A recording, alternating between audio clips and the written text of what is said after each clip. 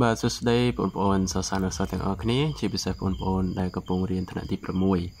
ថ្ងៃនេះលោកគ្រូលើកយកលំហាត់ត្រង់ទំព័រទី112យកមកកំណែឲ្យបងប្អូនទាំងអស់គ្នាមើលបាទតកតងជាមួយនឹងការបដូរប្រភេទទៅជាភាគរយហើយមួយទៀតគឺបដូរភាគរយទៅជាប្រភេទអញ្ចឹងលោកគ្រូអត់អាចធ្វើទាំងអស់ទេគ្រាន់តែអាចធ្វើជា គំរូឲ្យបងប្អូនទាំងអស់គ្នាខ្លះខ្លះតែប៉ុណ្ណោះអញ្ចឹងនៅសល់ប្រហែលបងប្អូនរៀនធ្វើខ្លួនឯងតើឥឡូវយើងមើលទាំងអស់គ្នាតែម្ដងអញ្ចឹងដើម្បីបដូរប្រភេទជាភាគរយហ្នឹងលោកគ្រូធ្លាប់បានបរៀនហើយគឺមាន3របៀបនៅខាងលើនេះបាទលោកគ្រូសុំបង្ហាញម្ដងទៀតទី1ធ្វើឲ្យភាគបាយវា ស្មើនឹង100ទី2ធ្វើឲ្យទៅជាសមាមាត្រហើយនឹងចុងក្រោយគឺគុណ100%វិធីទី1យើងធ្វើបានចំពោះលេខដែលប្រភេទវាភាគបែងអឺភាគបែងខ្លះអាចធ្វើឲ្យទៅជា100តែភាគបែងខ្លះទៀតអត់អាចទេហើយទី2ទី3នេះគឺយើងអាចប្រើគ្រប់ប្រភេទទាំងអស់អូខេតោះឥឡូវយើងមកធ្វើលំហាត់របស់យើងវិញអញ្ចឹងលោកគ្រូធ្វើមួយជួរនេះតែ3ទេឲ្យបងប្អូនទាំងអស់គ្នា ហើយនៅសល់ប្រហែលបងប្អូនរៀនធ្វើដោយខ្លួនឯងតោះឥឡូវលោកគ្រូយកអាចចំណុចដំបូងគេនេះគឺ6ភាគ8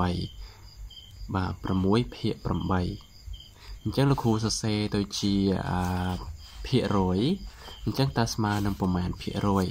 អញ្ចឹងដើម្បីដឹងប្រមាណភាគរយយើងមាន3របៀបអញ្ចឹងឥឡូវលោកគ្រូប្រើរបៀបទី3ណាអញ្ចឹងយើងសរសេរ6ភាគ8ដដែលគុណឲ្យ100 ភាគរយណាគុណឲ្យ100ភាគរយមកអានេះវិធីនេះគឺវិធីដែលងាយស្រួលជាងគេអញ្ចឹងស្មើយើងស្មើបន្តមកទៅមុខក៏បានឬក៏មកខាងក្រោមនេះក៏បានហើយលោកគ្រូសូមដាក់មកខាងក្រោមនេះតែម្ដងបាទស្មើនេះ6នេះយកទៅគុណនឹង100មកបាទ6គុណឲ្យ100បាទលោកគ្រូសេយឺតយឺតខែលោកបងប្អូនមើលអត់តាន់ហើយនេះយើងចែក8មកបាទ ចឹងស្មើបន្តទៀតបានកន្លែងនេះគឺស្មើនឹង600 6គុណ100បាន6 600ភាគរយហើយភាគភាគបែងគឺ8ណាអញ្ចឹងយើងចែកមកយើង600ហ្នឹងយកទៅចែកឥឡូវលោកគ្រូសុំចែកនៅកន្លែងនេះបាទ600ចែកឲ្យ8អញ្ចឹងយើងកាត់ពីខ្ទង់ បាន8ប្រហែលនោះបាន60ចឹងអត់មានទេមានតែ7ដងណា7ដង7 8ដង56ដកមកនេះសល់4អញ្ចឹងលោកគ្រូមិនខ្ចីទេ60ដក56សល់4ទម្លាក់លេខ0អញ្ចឹង8ម៉ានដល់បាន40អ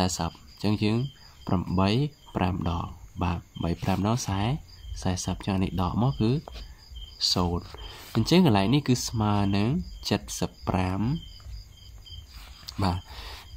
75ភាគ ភាគរយបាទអញ្ចឹង6ភាគ8ហ្នឹងស្មើនឹង75ភាគរយបាទនេះគឺលោកគ្រូធ្វើរបៀបទី3ណាបាទតោះឥឡូវលោកគ្រូយកមួយទៀតគឺ15បាទលោកគ្រូកំណែឲ្យមើលមួយទៀត15ភាគ75បាទ15ភាគ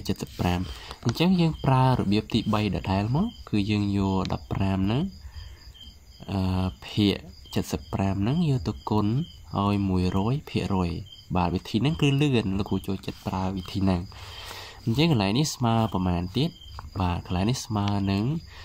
15គុណនឹង100ណាគុណនឹង100ភាគរយភាគបែង70 75បាទស្មើបន្តទៀតអញ្ចឹង15គុណ100អញ្ចឹងយើងស្មើនឹងប៉ុន្មានស្មើនឹង1អឺ 500ណា1500ភាគបែងគឺ70 75បាទឥឡូវយើងចែកតែតើស្មើប្រមាណកន្លែងហ្នឹងណាអញ្ចឹងយើងយកទៅចែកមកចែកជាមួយលោកគ្រូ100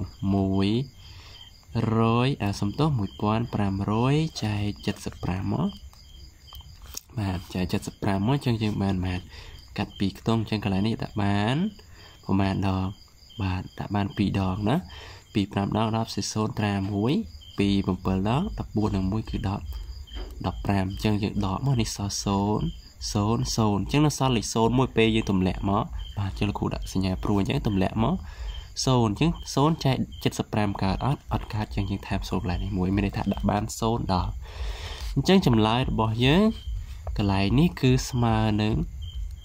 20%អូខេ20% បាទអញ្ចឹងអើលោកគ្រូកំណែតែប៉ុណ្ណឹងបានណាណា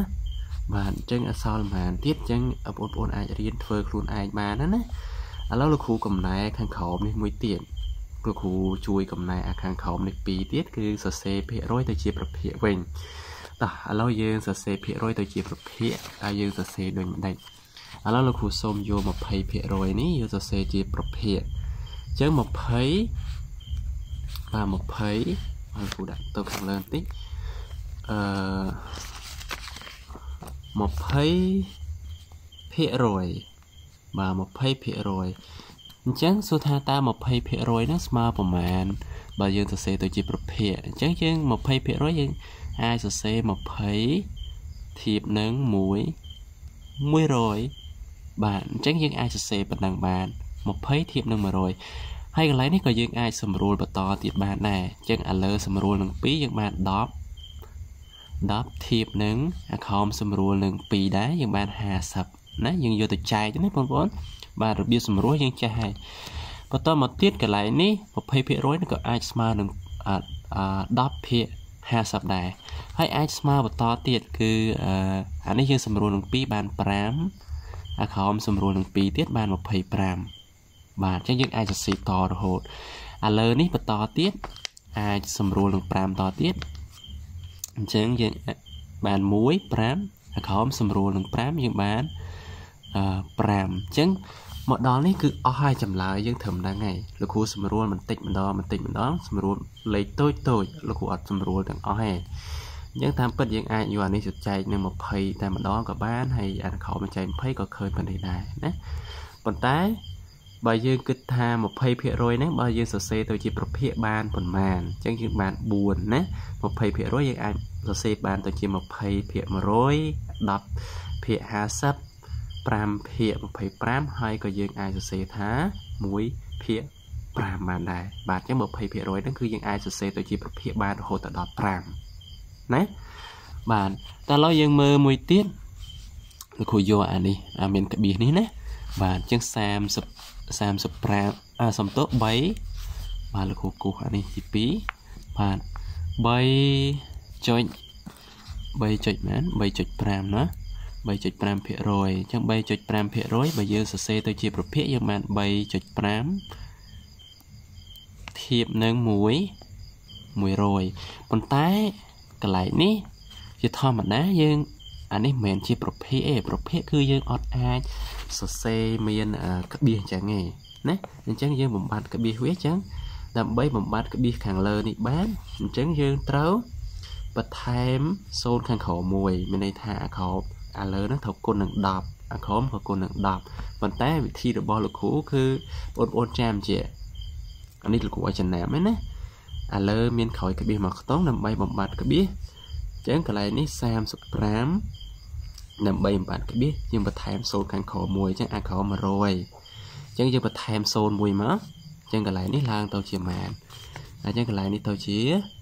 1000យើងមិនបាច់ចាំគុណអាលើនឹង10អាក្រោមនឹង10ទេចាំរបៀបលោកគ្រូណាដើម្បីបំបត្តិក្បៀសខាងលើយើងមើលមានប៉ុន្មានខ្ទង់បើមកខ្ទង់យើងថែមថែមសូនខាងក្រោមមួយមកយើងជាការស្រេចហើយបើសិននេះមាន2ខ្ទង់យើងថែមសូនខាងក្រោមនេះ2ខ្ទង់ណាដូចឧទាហរណ៍ចំណុចនេះចំណុច អឺ0.04នេះកន្លែងហ្នឹងណាចុះយើងថែម02មកបាត់អាលើនៅសល់តែលេខ4នេះកន្លែងនេះអូខេតែឥឡូវយើងមកមើលអានេះវិញអញ្ចឹងមកដល់ហ្នឹងហើយធ្វើម៉េចទៀតអញ្ចឹងយើងអាចសម្រួលបានណាលេខហ្នឹងអាហ្នឹងយើងបានប្រភេទមួយហើយប៉ុន្តែយើងក៏អាចសម្រួលតទៀតបានដែរឥឡូវឥឡូវលោកគ្រូឥឡូវសម្រួលនឹង5បាទអញ្ចឹងសម្រួល5បាន7ណា7 5នោះ35អាខមសម្រួលនឹង5ដែរបានម៉ាន យើងយក1000ហ្នឹងចែកនឹង5ទៅបានម៉ានបាទ1000ចែកនឹង5យើងបានអឺ200ណា202គុណ200គុណ15ទៅយើងបាន1000វិញអញ្ចឹងមកដល់ហ្នឹងគឺអស់ហើយចម្លើយគឺយើងឃើញប៉ុណ្ណឹងអូខេអញ្ចឹងយើងអាចសរសេរ3.5%ហ្នឹងសរសេរបាន2ប្រភេទគឺ35ធៀបនឹង1000ហើយក៏មួយទៀត3.5%ហ្នឹងស្មើនឹង7ធៀបនឹង 200បាទអញ្ចឹងអឺវីដេអូហ្នឹងលោកគ្រូយកកំណែជាឧទាហរណ៍តែអឺមួយចំណុច2ណាបាទនេះមើលឡើងវិញអញ្ចឹងយកអាសរសេរប្រភេទដូចជាភាគរយនឹងមួយអាអាហ្នឹងអាហ្នឹង2លំហាត់លោកគ្រូធ្វើជាគំរូអាពីរនេះហើយខាងក្រោមនេះគឺមាន2ដែរអា 20%នេះហើយនៅ3.5%ហើយនៅសល់ប្រហែលបងប្អូនអាចរៀនធ្វើខ្លួនឯងបានណាហើយបើអត់យល់ទេអាច comment សួរខាងក្រោមឬក៏អាចសួរមិត្តភ័ក្តិរួមថ្នាក់ឬក៏លោកគ្រូអ្នកគ្រូដែលនៅក្នុងថ្នាក់របស់បងប្អូនបន្ថែមទៅបងប្អូននឹងយល់ហើយបាទចឹងសម្រាប់វីដេអូនេះមានតែប៉ុណ្្នឹងទេអរគុណច្រើនសម្រាប់ការរៀនធ្វើលំហាត់នេះជាមួយលោកគ្រូហើយសង្ឃឹមថាបងប្អូនចេះទាំងអស់គ្នាបើមានកំហុសខុសឆ្គងក៏សូមអធិស្ឋានផងដែរបាទ អរគុណម្ដងទៀតសម្រាប់ការរៀនជាមួយលោកគ្រូហើយយើងនឹងជួបគ្នាម្ដងទៀតនៅក្នុងវីដេអូមេរៀនបន្តបន្តលើកក្រោយទាំងអស់គ្នាសុខសប្បាយ